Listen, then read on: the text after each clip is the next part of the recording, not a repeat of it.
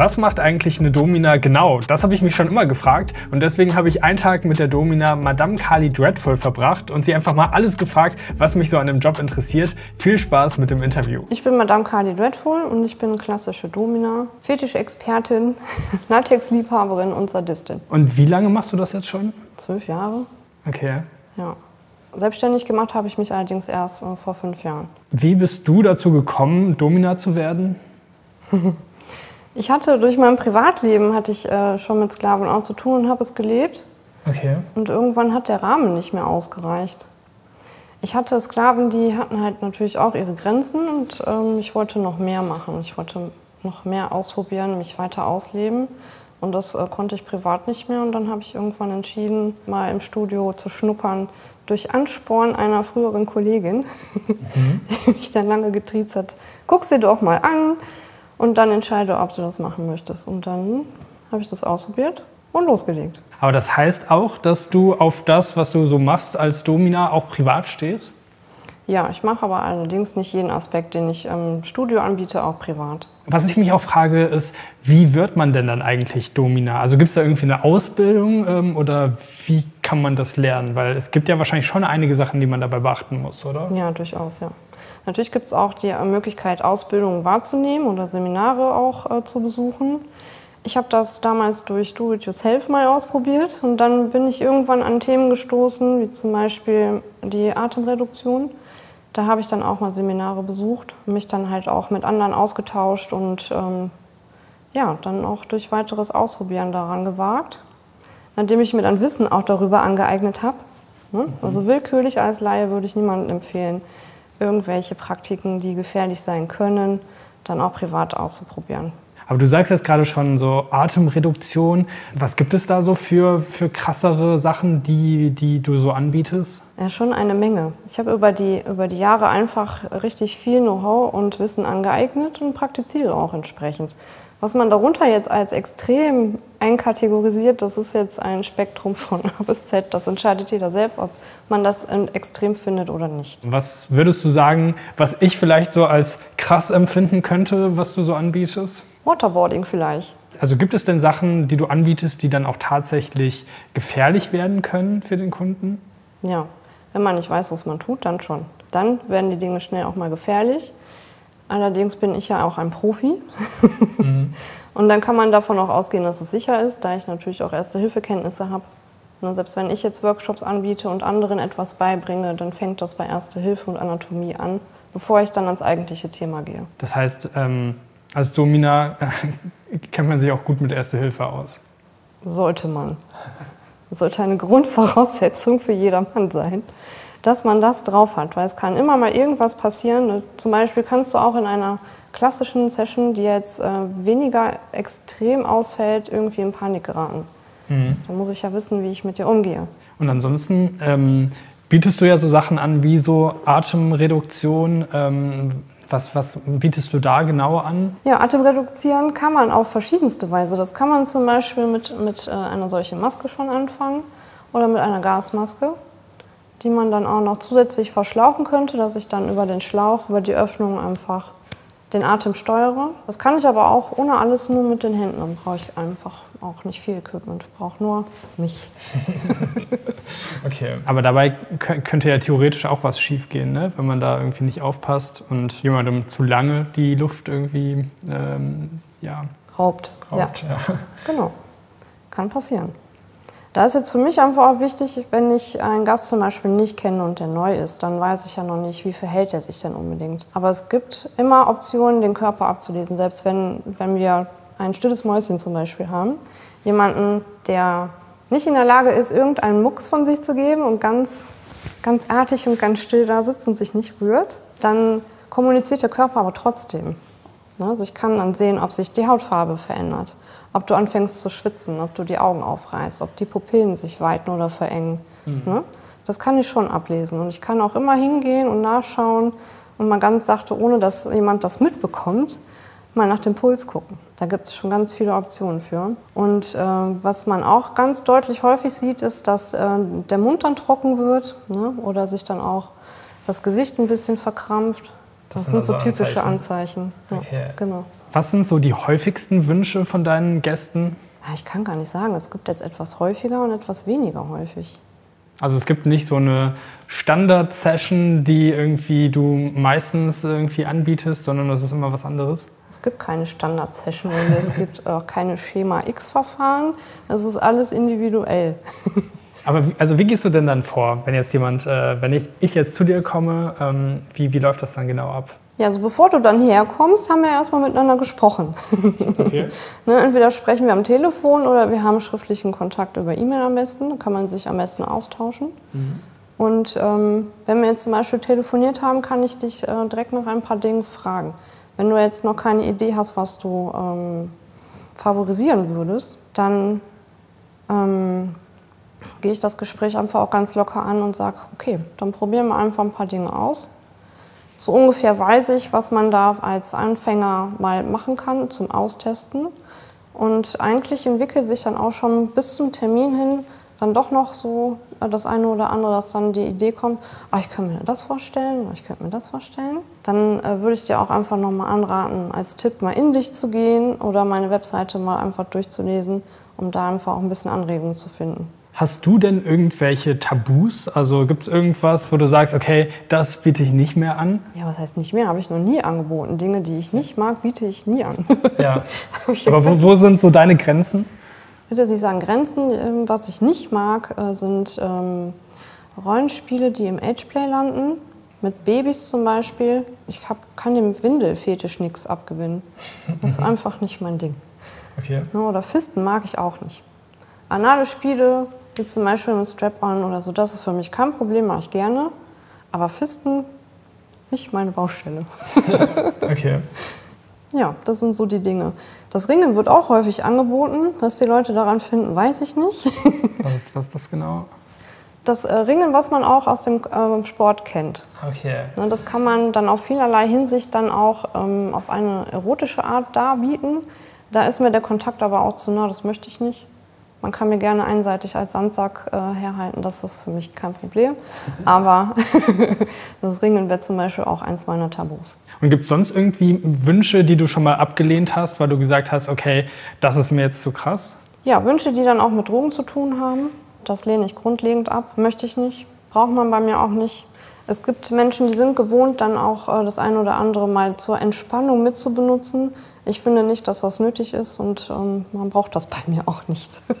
In unserem Telefonat hattest du irgendwann mal zum Beispiel auch erzählt, dass sich mal jemand gewünscht hat, äh, ich glaube, in äh, wie, wie Müll weggeschmissen zu werden oder sowas, was du dann auch irgendwie abgelehnt hast, weil das gefährlich ist? Ja, aus meinem Nähkästchen gibt es ja ganz viele Anekdoten dazu, zu äh, extremeren Dingen, die ich dann auch ablehne. Ja, das sind dann zum Beispiel auch äh, eins von diesen. Da hat sich dann jemand gewünscht, ähm, einen Folienbondage-Ganzkörper äh, zu bekommen, mit noch einer Lage Panzertape drum gewickelt. Also komplett eingepackt in. Ja, komplett von oben bis unten. Genau. mit einem kleinen Atemloch. Und dann wollte der Mensch dann mit dem gesamten eingewickelten Körper in eine öffentliche Mülltonne entsorgt werden und da die Nacht über drin verweilen und am nächsten Tag wieder rausgefischt werden. Mhm. Ja, in anderen Worten, realistisch gesagt, hat man mich gefragt, ob ich ein Tötungsdelikt begehen möchte. Weil derjenige das nicht überlebt hätte? Nein, auf keinen Fall. Der Körper kann ja nicht atmen. Unter Folie komplett kann der Körper einfach nicht atmen. Ne? Und es kann sich dann auch nicht über so lange Zeit irgendwie gewährleisten, dass der Oberkörper sich auch so weit aufdehnen kann, dass er überhaupt atmen könnte. Das ist surreal. Nicht möglich, nicht machbar. Und ähm, ich kann den, den Reiz dahinter bei ihm verstehen, aber so weit darf man nicht gehen und es muss Grenzen geben, auch in dieser Hinsicht, dass man dann auch den Leuten nochmal klar macht, bist du dir sicher, dass du das möchtest? Du weißt genau, was du mich gerade fragst. Du fragst mich gerade danach, ob ich dich umbringe. Auf den Punkt gesagt. Auf gar keinen Fall. Die Relation dazu war einfach gar nicht mehr da. Es war einfach nur die Idee, äh, so entsorgt zu werden. Das war der Fokus, das war der Punkt. Also das heißt, es gibt auch immer mal wieder Anfragen, die du dann ablehnst. Ja, natürlich. Wenn sie dann auch unhöflich sind zum Beispiel, dann lehne ich das auch ab. Oder wenn man keine Ahnung hat, wie man jetzt anspricht, das, das mag ich auch nicht. Ich bin ja schon eine andere Art Domina, auch schon vom optischen Erscheinungsbild her. Und ähm, ich finde wichtig, dass die Leute auch sich Gedanken darüber machen, wem sie sich anvertrauen. Und wenn ich den Eindruck nicht habe, dann vergebe ich auch keinen Termin. Ist mir jetzt persönlich wichtig. Kann man jetzt sehen, so wie man möchte, aber. Hast du als Domina sonst irgendwelche No-Gos? Also wie ist das mit, ähm, keine Ahnung, sowas wie Geschlechtsverkehr und solche Geschichten? Äh, bietest du ja nicht an, ne? Ich bin eine klassische Domina. So wie man das auch zu verstehen hat. Es hat sich über die moderne Zeit heute etwas sehr, ja, sagen wir mal, in eine falsche Richtung entwickelt, da das auch ähm, laienhafte Damen irgendwie unterwandert haben. Jetzt gibt es seit äh, in dieser Neuzeit dann auch berührbare Dominas oder Bizarre-Ladies, die gab es früher nicht. Nach meinem Verständnis ist eine klassische Domina nahbar, aber nicht berührbar. Vielleicht kannst du das einmal kurz erklären. Also ähm, was ist eine klassische Domina? Was macht eine klassische Domina aus? Eine klassische Domina macht aus schon das Erscheinungsbild. Eine klassische Dame tritt auch klassisch auf. Das heißt, hochgeschlossen und nicht zu kurz. Eine klassische Dame tritt niemals irgendwie in Unterwäsche auf. Kann ich dann auch nicht ernst nehmen, wenn das andere machen. Das ist nicht mein Verständnis dafür. Klassisch im Sinne zum Beispiel auch von, wie man es auch häufig kennt, in einem knielangen Rock mit einer weißen Bluse zum Beispiel oder einem Lederkorsett. Kann aber auch ein Lackkorsett sein. Da ich halt auch gerne Latex trage, geht das auch adrett in Latex gekleidet. Was für Aufgaben, sage ich mal, hat eine Domina dann? Eine Domina ist ja auch gerne mal eine Komplizin. Ne? Okay. In einem klassischen Rahmen ist ein, äh, eine Domina einfach eine auch äh, Erzieherin, wie eine Gouvernante zum Beispiel. Ne? Also es gibt den englischen Erziehungsstil und auch den viktorianischen Erziehungsstil. Ich mische das gerne mal. Ne? Das beinhaltet dann halt auch die Erziehung mit, ähm, ja, was nimmt man denn da?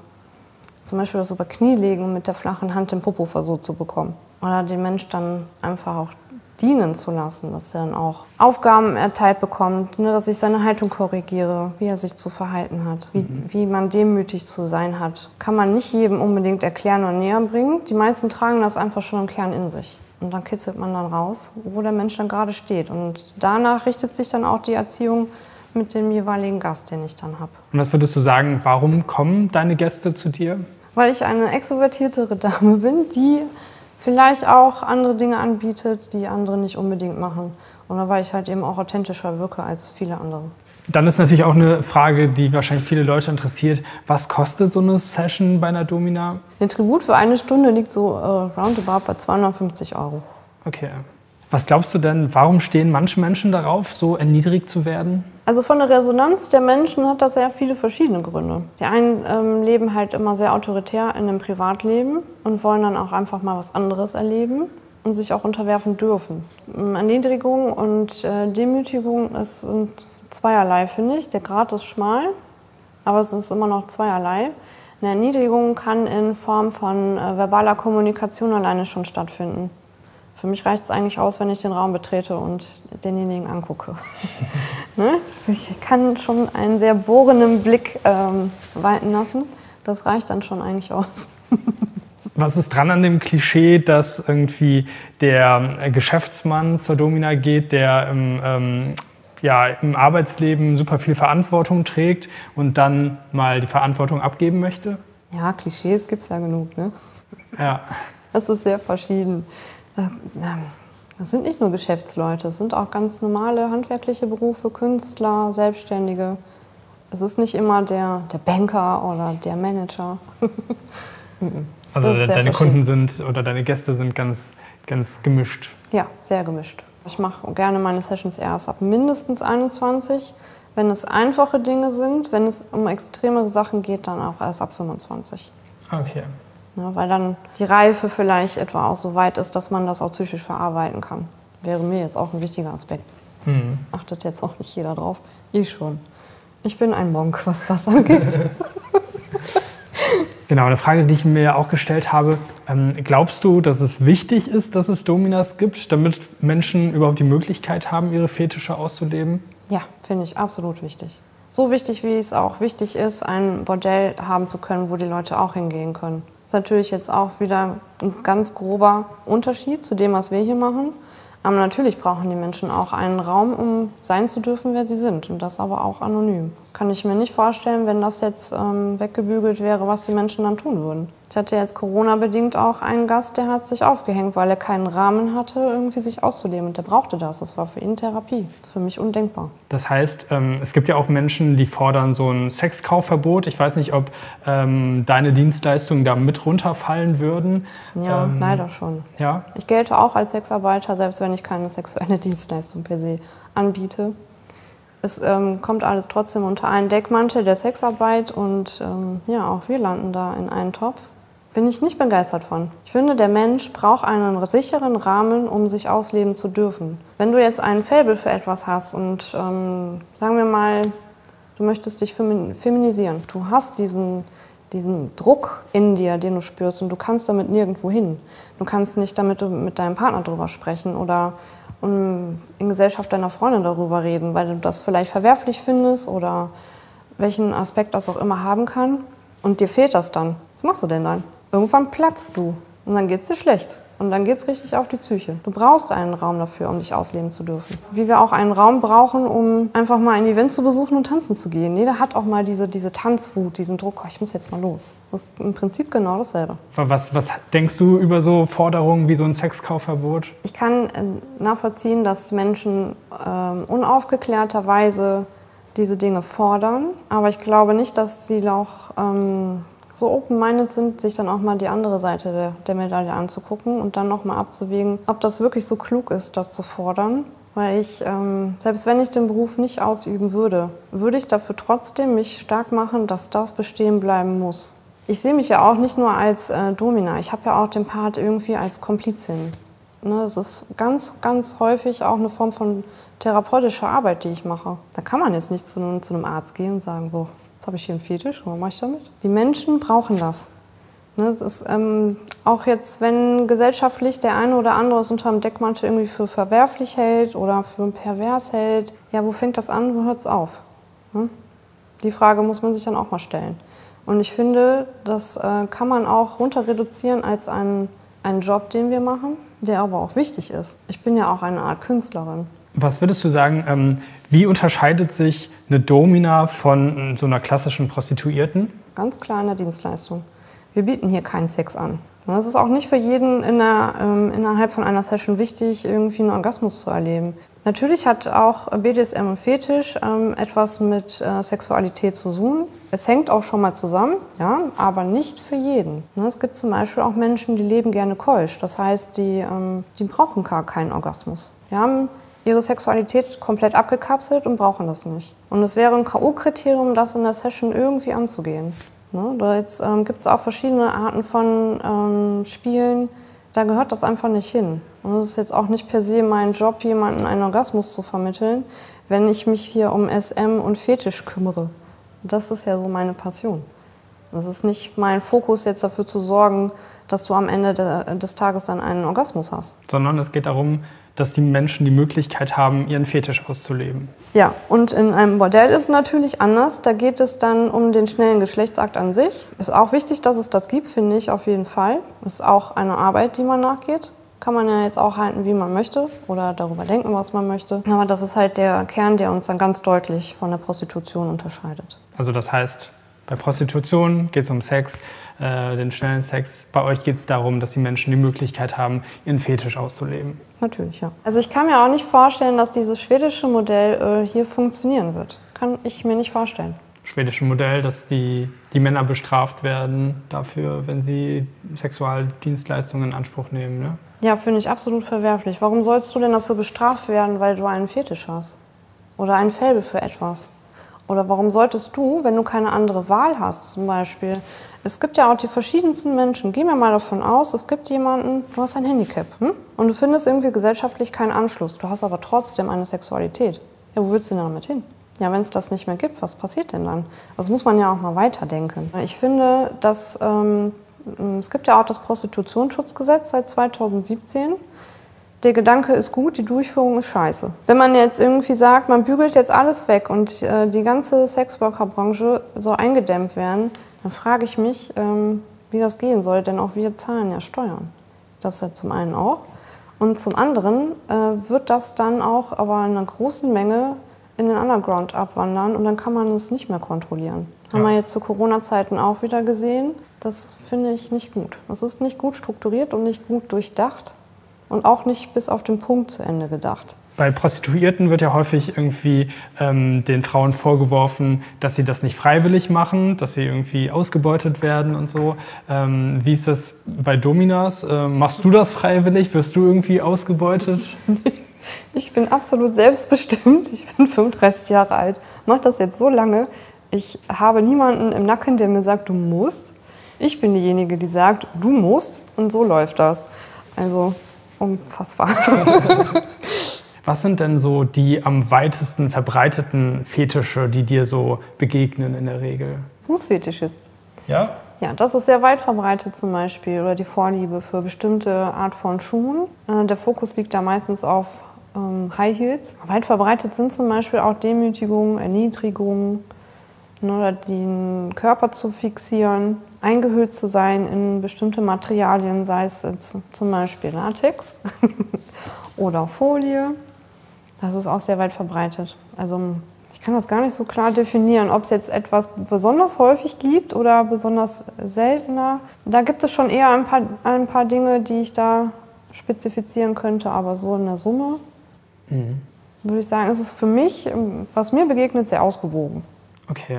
Was gibt es vielleicht für krassere Fetische, die dir so begegnen? Ja, wenn es jetzt zum Beispiel ähm, um das Thema geht, Masochismus, und ich da jetzt zum Beispiel brenne, schneide, steche, reibe oder die Haut aufschlage. Wie, wie kann man sich das vorstellen?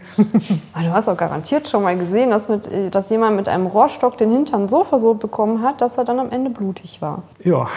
Ja, Sowas, genau. okay. So kann man sich das in etwa vorstellen. Alles das, was am Endeffekt dann auch die Haut äh, präferiert. Was glaubst du, warum Menschen darauf stehen, irgendwie so Schmerzen zu erleben?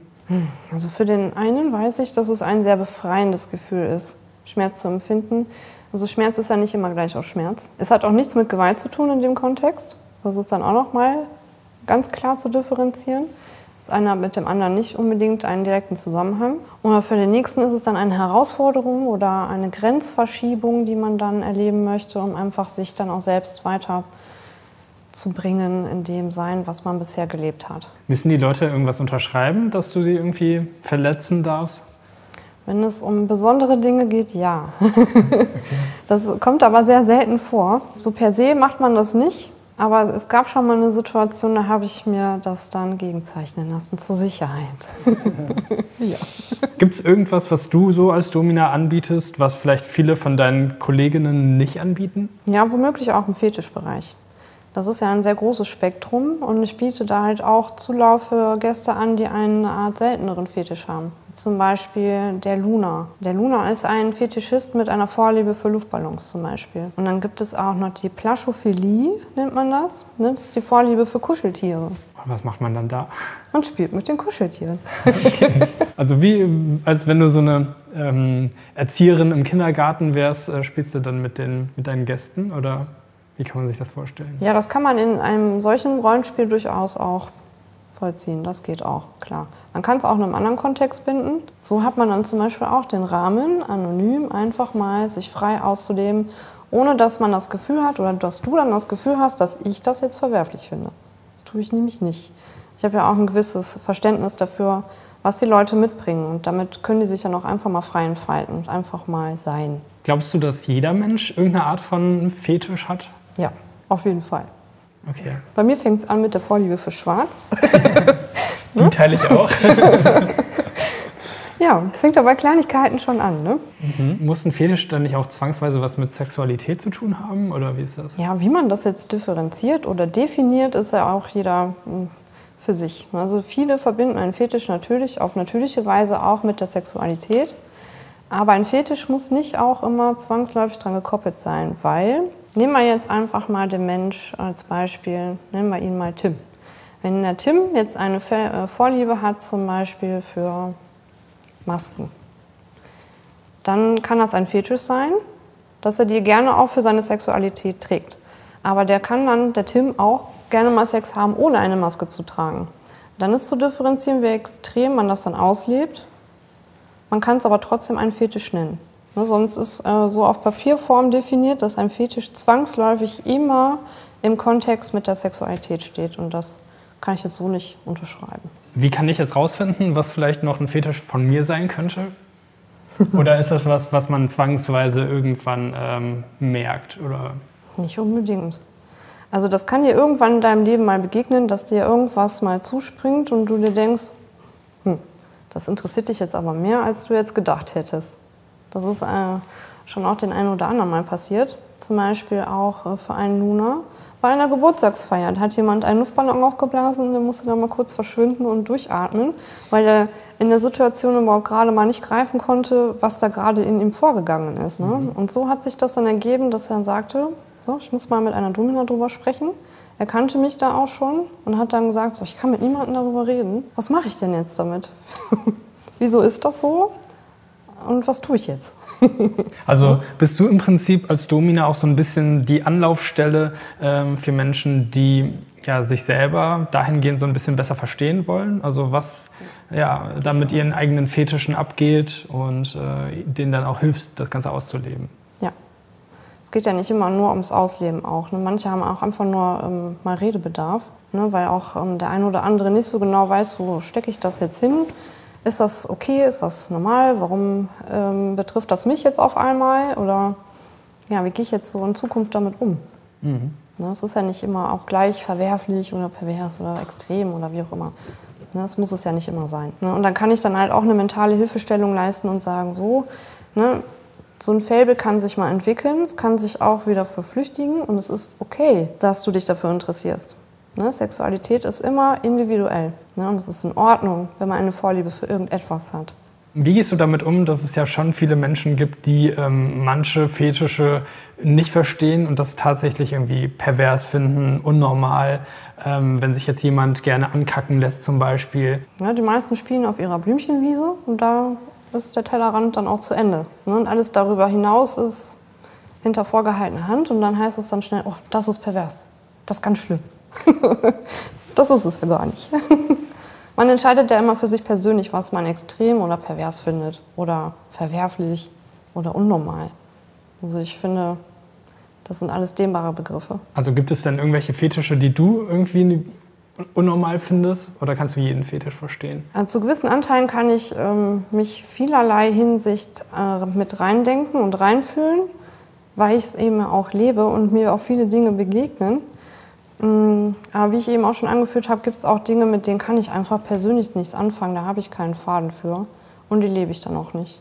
Das ist für mich auch okay. Ein Fetisch, den ich interessant finde, aber auch nicht so richtig verstehe, ist alles, was so mit Ausscheidungen zu tun hat. Also so ähm, Natursekt, Kaviar, Dirty Games. Das bietest du auch an, oder? Ja, genau. Das biete ich auch an. Nur nicht alles. Ne? Also unter Dirty Games zählt man nicht nur den Ausscheidungsprozess per se, sondern auch äh, das Vomit. Vomit bedeutet dann das äh, Ausbrechen, das Erbrechen von Lebensmitteln oder auch das Anspucken. Ne? Und darunter zählt auch um, unter anderem, was manche auch anbieten, was ich jetzt persönlich nicht mache, also das Vomit und Blutspiele, also als Periodenspiel genannt, biete ich persönlich nicht an. Aber du bietest Natursekt und Kaviar an. Genau, ja.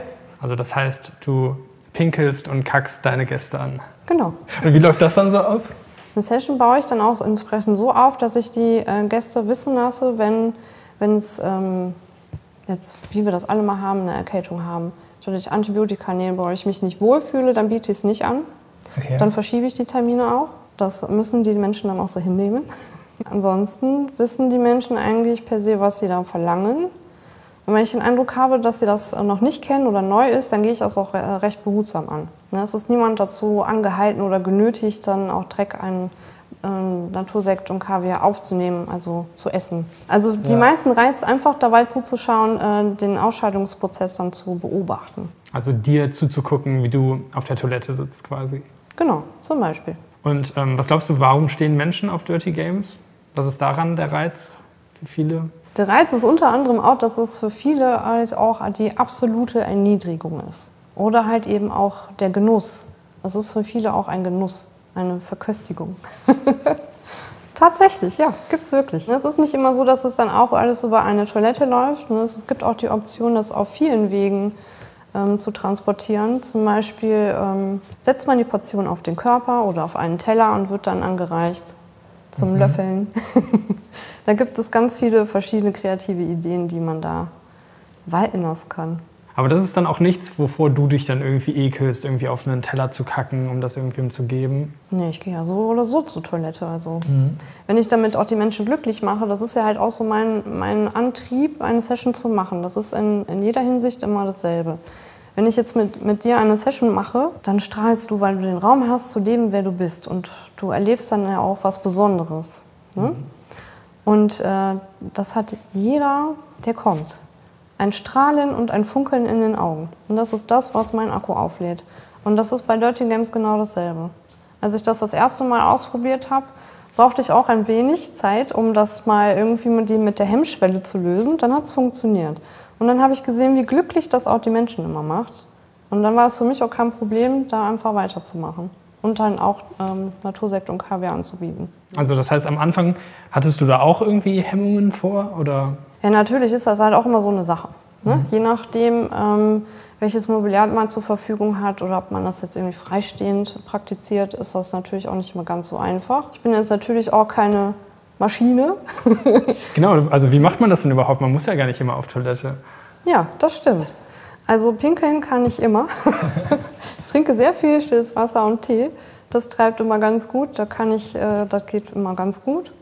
Und beim Kaviar, ja gut, ne, ich kann jetzt auch nicht jeden Tag, ne, aber für meine Vorbereitung gehe ich dann einfach hin. Ich esse auch sehr ausgewogen. Das darf man die Damen auch immer fragen, wenn sich dafür jemand interessiert. Ne? Wie ernährt man sich denn und auf welche Weise praktiziert man das? Ich mache das immer auf natürlichem Weg. Das heißt, ich nehme keine Abführmittel oder ich mache auch keinen Einlauf vor. Das äh, finde ich jetzt nicht so gut. Mhm. Auf natürlichem Weg ist halt eben auch die gesündeste Art. Und äh, für mich weiß ich, dass es funktioniert, wenn ich äh, Trockenobst esse zum Beispiel. Mhm, okay. Ja, das treibt dann auch ganz gut. Dann kann ich das so ein bisschen lenken. Also es ist gar nicht so einfach, wenn du das mal zu Hause ausprobieren möchtest, mal auf Termin, dann auch zur Toilette zu gehen. Ja, kann ich mir vorstellen. Also wenn man dann einen Termin um 15 Uhr hat ähm, für, für so eine Kaviar-Session, dann ja, das ja. kann mal schwierig sein, ja. Also am liebsten sind mir immer die, die einfach den ganzen Tag verweilen und dann kann man einfach immer gehen, so wie es gerade passt. Ah, okay, ja. Das ist perfekt.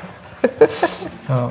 Was denkt ihr jetzt so über den Job einer Domina? Könntet ihr euch vorstellen, das Ganze selber mal in Anspruch zu nehmen oder sogar selber als Domina zu arbeiten? Schreibt es gerne in die Kommentare. Wenn ihr sehen wollt, wie ich von Madame Kali Dreadful ausgepeitscht werde, dann schaut euch das Video auf meinem Hauptkanal an. Oder wenn euch interessiert, was ein Bordellbetreiber eigentlich so macht, dann schaut euch gerne das Interview hier an. Vielen Dank fürs Zuschauen und bis zum nächsten Mal.